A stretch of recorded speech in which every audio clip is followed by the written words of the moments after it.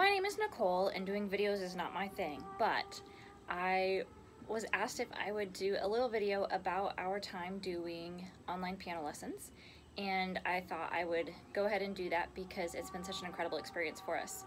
So when we first started doing piano lessons, the kids were kind of moving along but not great and I had remembered Mr. Kraus from years ago when I was in college.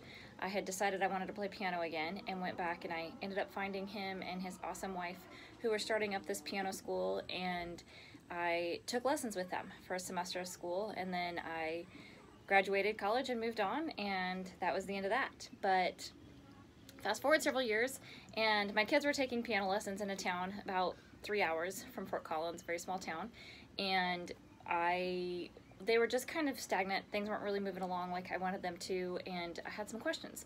So on a whim, I looked up Mr. Kraus in the piano school and found him, and we started chatting again.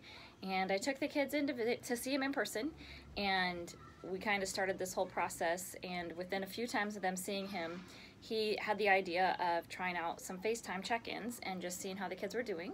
So we went ahead and did that, and it was going really well. So by the end of the summer, we had gone to see him in person a couple of times over the summer, but just continued. He suggested, hey, let's try this online thing full time if you're willing to give it a shot. And I have to admit, I was pretty skeptical at first. I didn't really know that we could do full-time piano lessons online, but we decided to go ahead and give it a try. So here we are, fast forward, I think it's been about two years now, um, things are incredible. I went from being a skeptic to a firm believer in doing online piano lessons. My kids are now with someone who I believe is the best piano teacher ever, and my kids sure love him as well. Um, Mr. Kraus is not only fun, but he's incredibly knowledgeable and he makes learning piano fun. Um, out of my three kids, I have one who absolutely loves piano and looks forward to it every week, and I have a couple who don't love it as much, but they actually really enjoy it because Mr. Kraus finds a way to make it fun. And I will say that in those first couple of months of trying online piano lessons, my kids went from kind of being in that stagnant position where I wasn't sure that we were making any progress to flying through piano and loving it once again and playing songs they enjoy.